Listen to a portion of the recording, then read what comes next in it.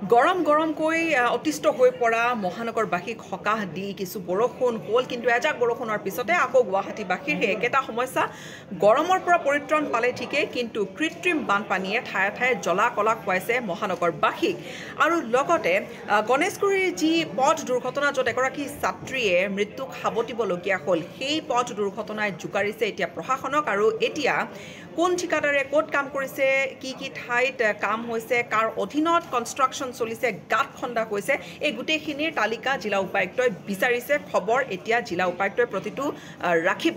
লগতে এই যিটো গাঁত খন্দা হৈছিল তাত নিৰ্মাণকাৰী প্ৰতিষ্ঠান এ কে কনষ্ট্ৰাকশ্যনে কিন্তু পাৰ্মিশ্যন লোৱা নাছিল। আৰু ডিব্ৰুগড়তো অনুৰূপ ঘটনা ঘটিছে গাঁত খান্দি থোৱা আছিল তাত যুৱকৰ দুৰ্ঘটনাত মৃত্যু ঘটিছে।